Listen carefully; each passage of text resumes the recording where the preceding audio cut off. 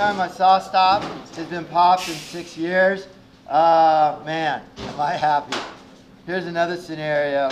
There's an ambulance outside of the wood shop. The kid's getting his finger sewn back on. His mom's screaming.